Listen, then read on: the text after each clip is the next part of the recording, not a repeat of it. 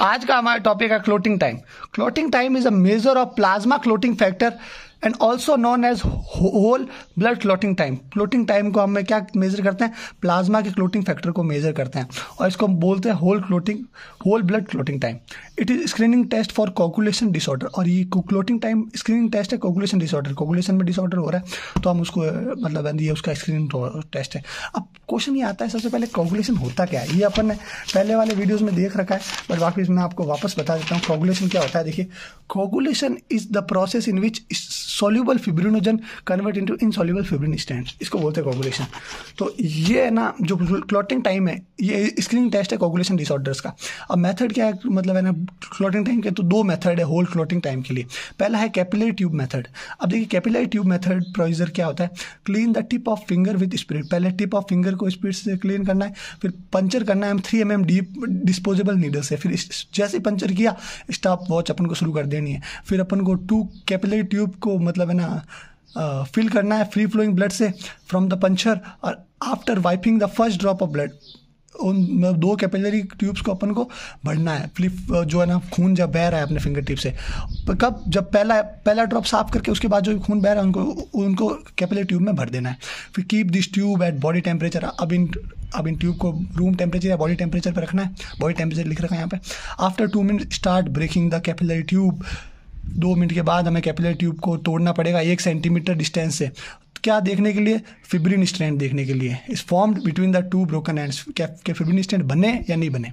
ठीक है stop the watch and calculate the time from average of two capillary tubes और फिर हमें स्टॉप करना है वॉच को और कैलकुलेट करना है टाइम को, दो कैपिलर ट्यूब में। और इसके डिसएडवांटेज क्या है? मेथड इनसेंसिटिव ये मेथड इनसेंसिटिव है और अनरिलायबल है। एडवांटेज क्या है? It can be perform when venous blood can not be obtained ये अपन कैपिलरी ट्यूब मेथड कब यूज़ कर सकते हैं जब वीनस ब्लड अपन को नहीं ऑप्टेंड हुआ है? और नॉर्मल क्लोटिंग टाइम कितना होता है? कैपिलरी ट्यूब मेथड के अकॉर्डिंग वन से फाइव मिनट फिर दूसरा देखेंगे हम Lee and White method After cleaning the forearm, make a vein puncture and draw 3 ml of blood in a siliconized glass syringe और प्लास्टिक सीरेंज देखिए clean करने फो, फोराम क्लीन करने के बाद हमें वेन पंचर करना है। अब ली और वाइट मेथड में क्या प्रोविजर है? पहले हमें फो, फोराम क्लीन करना है फिर हमें वेन पंचर करना है तीन तीन सेंट तीन एम एल खून निकालना है और वो भी किसमें? सिलिकनॉइज ग्लास सीरेंज और प्लास्टिक सीरेंज में। फिर हमें ना स्टार्ट कर देना है स्टॉप वॉच को और ट्रांसफ़र करना है एक M L blood into three tubes तीन ट्यूब में हर एक ट्यूब में एक एक एम ब्लड अपन को ट्रांसफ़र करना है। Which are kept at thirty seven degree in water bath और जो कि थर्टी सेवन डिग्री पे वाटर बाथ पे रहेगी। After three minute tilt the tubes और तीन मिनट के बाद में हमें ट्यूब्स को थोड़ा सा टिल्ट करना है। One by one every thirty second और एक, एक मतलब है ना एक एक करके हर तीस सेकेंड में। The clotting time is taken when the tubes can be tilted without spilling of their contents और क्लोटिंग टाइम हमें उस समय नोट करना है जब वो अपने कॉन्टेंट को गिराए बिना मतलब है ना वो टिल्ट हो रही है। और calculate the clotting time by average of three tubes और फिर तीन ट्यूब का एवरेज लेकर के अपन को कैलकुलेट करना है क्लोटिंग टाइम को। अब ये इसके ये है अपना ली एंड वाइट मेथड इसके एडवांटेज क्या है? मोर एक्यूरेट मेथड और स्टैंडर्ड मेथड है। और test can be run without control और इसमें बिना कंट्रोल के हम टेस्ट रन कर सकते हैं। डिसएडवांटेज क्या है ली और वाइट मेथड के? It is also rough method ये रफ मेथड है और देयर कैन भी कंटामिनेशन ऑफ़ सीरिंज और ट्यूब्स और कंटामिनेशन ऑफ़ मतलब हो सकता है सीरिंज और ट्यूब्स का। नॉर्मल क्लोटिंग टाइम कितना होता है पाँच से दस मिनट होता है।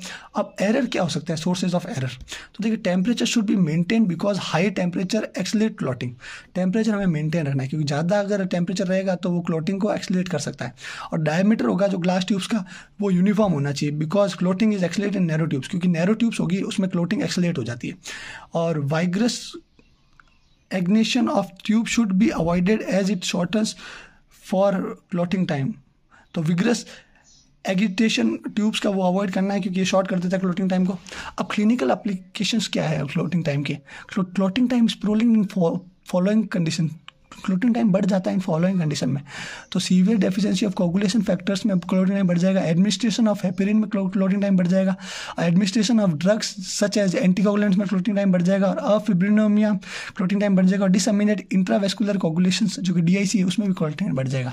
और कोगुलेशन फैक्टर अपन देख रहे हैं पहला फिब्रिनोजन है, दूसरा प्रोथ्रोम्बिन है, तीसरा थ्रोम्बोप्लास्टिन है, चौथा है कैल्शियम पाँचवा है लेबल फैक्टर छठ सात। छठा होता ही नहीं है, सातवां स्टेबल फैक्टर आठ एंटी हीमोफिलिक ग्लोबिलिन और और एंटी हीमोफिलिक फैक्टर और नम्मा है क्रिसमस फैक्टर दसवा स्टॉट पावर फैक्टर और ग्यारहवा है प्लाज्मा थ्रोम्बोप्लास्टिन एंटीसीडेंट बारहवा हैगमैन फैक्टर और तेरवा है फिब्रिन स्टेबलाइजिंग फैक्टर तो ये हो गया अपना पूरा क्लोटिंग टाइम अपन ने ली ली और वाइट मेथड पढ़ लिया कोगुलेशन पढ़ लिए मतलब मैंने कोगुलेशन फैक्टर पढ़ लिया क्लिनिकल एप्लीकेशन पढ़ ली, और अपन ने सोर्सेज ऑफ़ एरर पढ़ लिए कि किस तरह से एरर हो सकते हैं. अपन ने कैपिलर ट्यूब मेथड पढ़ लिया और अपन देख लिया क्लोटिंग टाइम होता है. क्या तो मैं करते हैं प्लाज्मा क्लोटिंग फैक्टर अब अपना अगला टॉपिक आएगा.